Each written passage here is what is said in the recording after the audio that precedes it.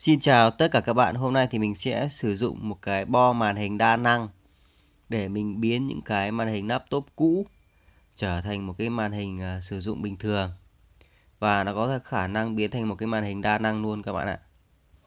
Thì ở trên tay mình đây là hai cái bo đa năng có hai mã số khác nhau. Một bo thì à, có DBT2 nha các bạn, tức là số hóa truyền hình T2 này các bạn đây là cái à, rắc để chúng ta cắm anten để bắt sóng truyền hình số mặt đất. Thì ở trên cái mê này thì à, nó có một cái rắc cắm loa. Đó, đây là cổng USB để nạp phần mềm cũng như là xem video. Đây là cổng AV, cổng HDMI và một cái cổng nữa là cổng AVG. VGA đấy các bạn đây là cổng uh, cắm rắc màn hình đa năng. Kết nối lên màn hình này các bạn. Thì ở đây mình sẽ có hai cái rắc một rắc dành cho màn hình nét. Chân pin là 40 pin. Và ở đây mình có thêm một số cái à, bo đa năng khác.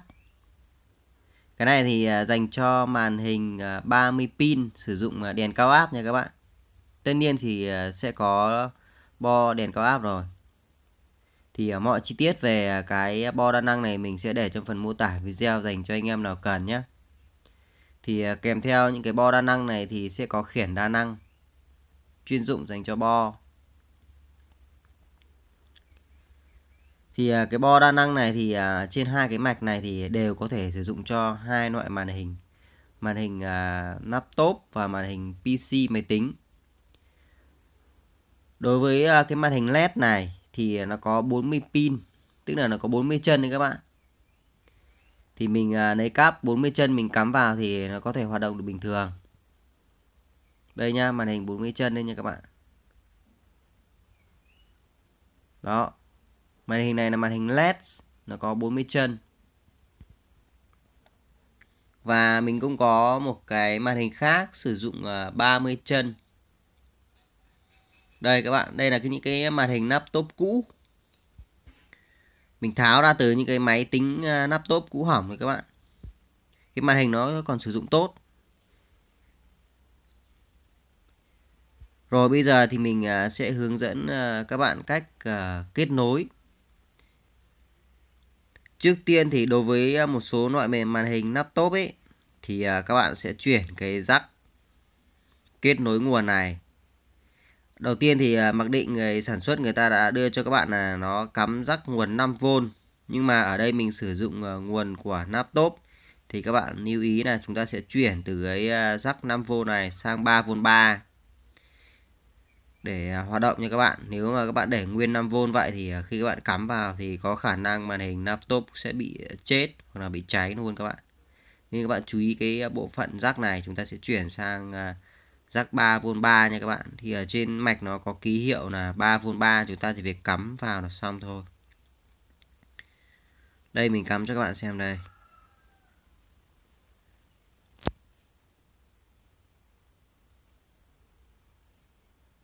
Đó, các bạn thấy đây. Các bạn lưu ý cái ờ, điểm này nha các bạn, phải cắm sang 3V3 nhé rồi, sau khi đã cắm sang nguồn 3V3 xong thì à, mình à, tiếp tục và hướng dẫn các bạn thêm à, cách cắm rắc để kết nối với màn hình. Đối với cái bo này cũng thế nha các bạn cũng à, cắm sang nguồn 3V3 nha các bạn. Đây là cái bo đa năng. Thì à, cái bo này thì à, nó sẽ có rắc ở giữa chúng ta sẽ chuyển lên trên để à, kết nối nguồn điện 3V3 tất cả những cái bo mặc định khi về thì người ta để mặc định là 5V nhưng mà các bạn hãy chuyển nó về 3v3 giúp mình nhé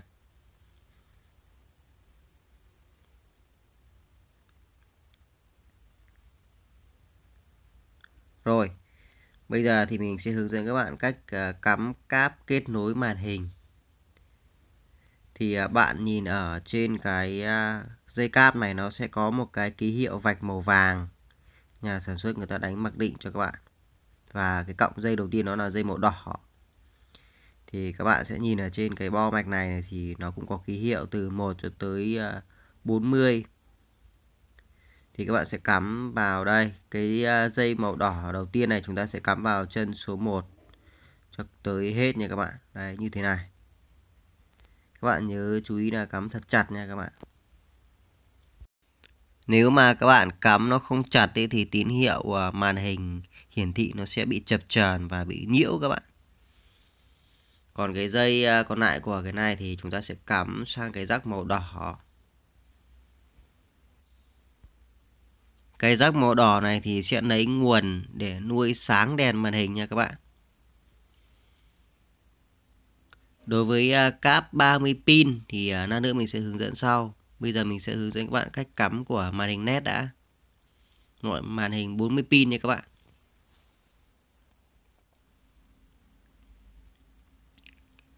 Còn cái ờ, rắc còn lại này, chúng ta sẽ cắm kết nối với ờ, chân rắc ở trên màn hình nha các bạn. Màn hình này là màn hình led, có số pin là 40 pin, tức là 40 chân. Nào nữa thì mình sẽ hướng dẫn các bạn cách cắm màn hình 30 chân luôn. Như vậy là mình đã cắm xong rắc kết nối màn hình. Để cho cái mạch này nó hoạt động thì chúng ta sẽ sử dụng một nguồn điện là 12V công suất tầm khoảng từ à, 2 cho tới 3A hoặc là 1A thì vẫn có thể chạy được nha các bạn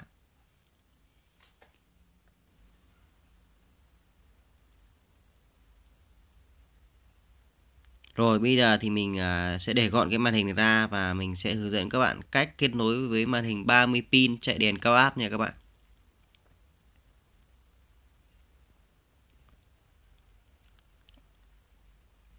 Đây là cái màn hình chạy đèn cao áp thì các bạn chú ý ở đây là cái à, màn hình đèn chạy cao áp này thì nó sẽ có một cái rắc là 30 chân. Mình sẽ zoom kỹ lên cho các bạn nhìn thấy đây từ 1 cho tới 30 nha các bạn. Ở phía dưới này thì nó sẽ có cái dây kết nối với đèn cao áp.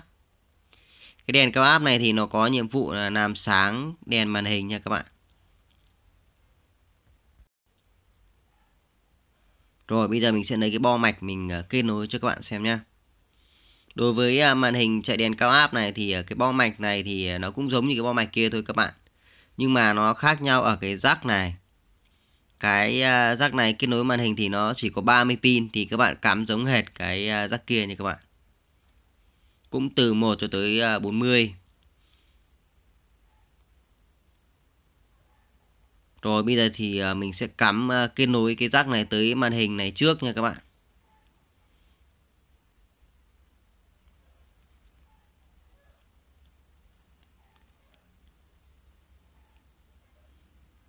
Mình thấy những cái màn hình à, 30 pin như, như thế này thì rất là phổ thông, thường xuyên là thải ra cũng khá là nhiều.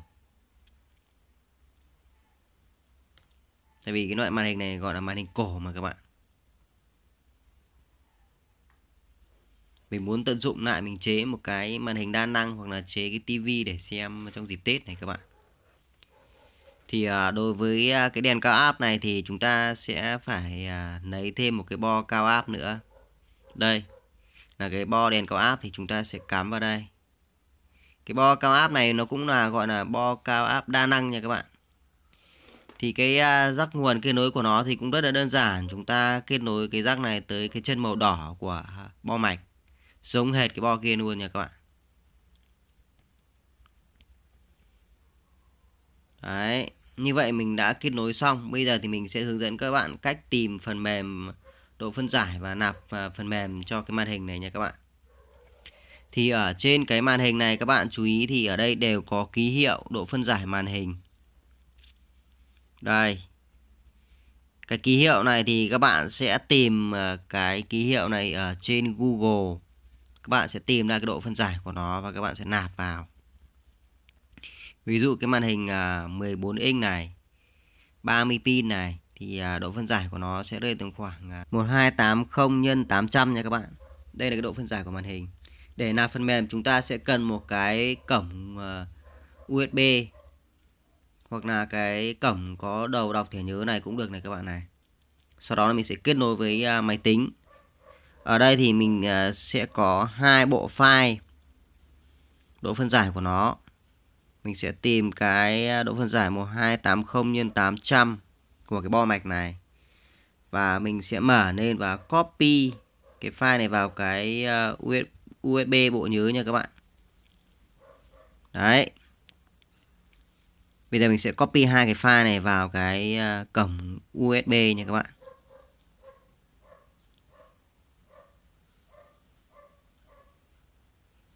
Rồi mình sẽ paste nó vào đây. Cái file này nó nhẹ nó các bạn chỉ có hơn 3 mê thôi. Rồi sau đó mình sẽ rút uh, ờ, cổng USB ra. Và mình sẽ cắm cái cổng USB này trên cái bo mạch màn hình này nha các bạn.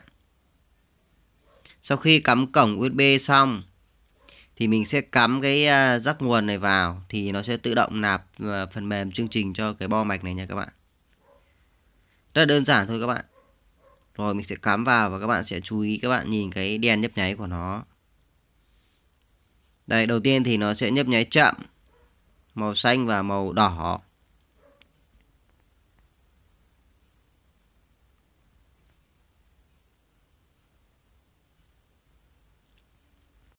Khi nạp phần mềm xong thì à, cái đèn này nó sẽ nháy nhanh hơn. Chớp liên tục đấy các bạn. Rồi mình sẽ rút nguồn ra trước, sau đó là sẽ rút cái cổng USB này ra. Sau đó là mình sẽ cắm lại rắc nguồn. Là cái màn hình này đã hoàn tất nha các bạn. Bây giờ mình sẽ lấy một cái điều khiển và mình mở nguồn nó lên. Là sẽ hiển thị ở trên màn hình thôi các bạn. Rồi, màn hình đã hiển thị rồi các bạn, mình sẽ nâng cái màn hình này lên để cho các bạn xem thấy hình ảnh của nó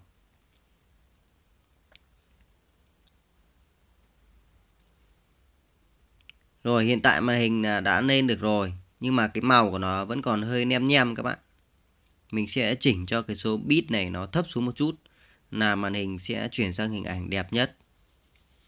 Mình sẽ nhấn nút menu cho các bạn thấy cái à, hình của nó hơi nem nhem. Đó. Nó thuộc dạng đảo ngược, nó hơi nem nhem các bạn. Để chỉnh à, lại cái độ phân giải cho nó thì các bạn sẽ nhấn nút menu. Đây nha, menu này.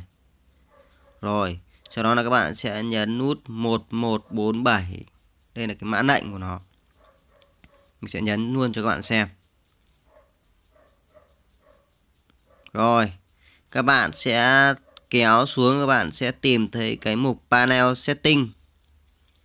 Đây, cái mục panel setting đây, và các bạn sẽ chọn nó.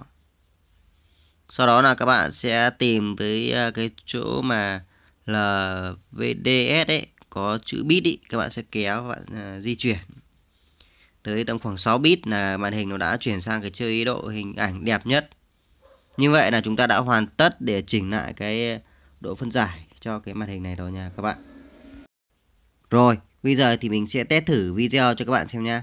Trước khi test thử video thì mình à, sẽ lấy cái loa mà người ta kèm cho các bạn. Các bạn có thể mua cái bộ combo có đầy đủ loa và nguồn.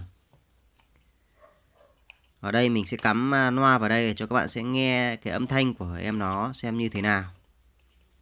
Rồi sau khi đã cắm rắc loa xong, mình sẽ lấy cái USB có sẵn video nha các bạn mình sẽ cắm thử cho các bạn xem liệu à, hình ảnh nó có được nét hay không mình sẽ chọn cái à, media này, rồi chọn movie.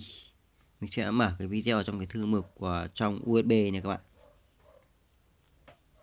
Rồi, đây là cái video của mình. Đó, các bạn thấy đây, video rất là nét, đúng không các bạn? Đây là cái video này mình tự quay nha các bạn. Mình à, làm cái video mấy hôm trước mình chế để à, cái máy kiểm tra diode các bạn. Các bạn thấy hình ảnh ở đây khá là sắc nét đúng không các bạn? Và âm thanh cũng rất là rõ ràng. Mình cho các bạn xem hình ảnh một à, chút nha các bạn. Xem các bạn thấy hình ảnh của nó như thế nào.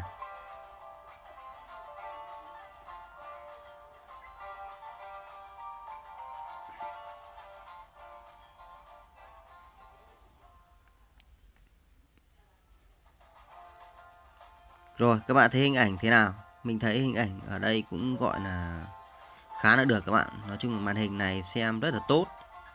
Chúng ta có thể uh, sử dụng cái bong mạch này chế tạo ra một cái à, uh, tivi để xem uh, tại gia đình chúng ta có thể xem tại phòng ngủ hoặc là uh, cái màn hình đa năng để chúng ta kết nối với lại uh, với lại máy cây PC cũng có thể kết nối được hoặc là chúng ta kết nối với lại camera giám sát tại gia đình thì ờ, cũng có thể kết nối được nha các bạn. Nó giống như kiểu là một cái ờ, màn hình ờ, đa năng vậy, nó giống hệt một cái tivi luôn các bạn. Mỗi tội là cái kích thước màn hình nó chỉ nhỏ, tầm khoảng 14 cho tới 15 inch. Đấy.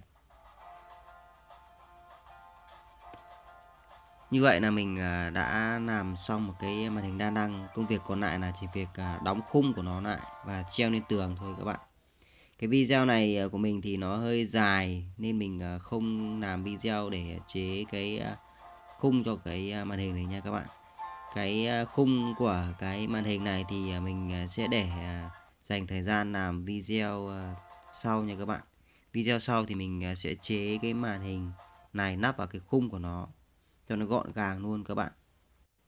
Mọi chi tiết thắc mắc thì các bạn có thể liên hệ với mình qua đường link Facebook trong phần mô tả nha các bạn rồi, cái bo đa năng này thì mình cũng sẽ để cái đường link ở trong phần mô tả dành cho bạn nào cần cũng như là yêu thích cái bộ môn chế tạo này các bạn thấy video của mình hay thì like và chia sẻ cho bạn bè và đừng quên nhấn nút subscribe đăng ký kênh ủng hộ mình nhé Xin chào và hẹn gặp lại các bạn ở những video sau. Bye bye.